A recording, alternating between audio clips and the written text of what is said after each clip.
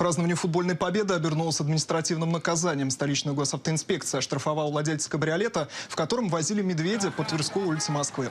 Таким необычным образом дрессировщик животного отметил победу российской сборной над командой Саудовской Аравии.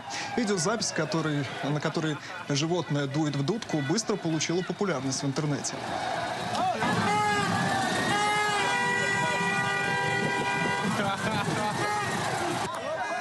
Изучили кадры сотрудники ГИБДД, после чего выяснилось, что автомобиль не проходил техосмотр. А перевозя медведя подобным образом, болельщики нарушили правила дорожного движения.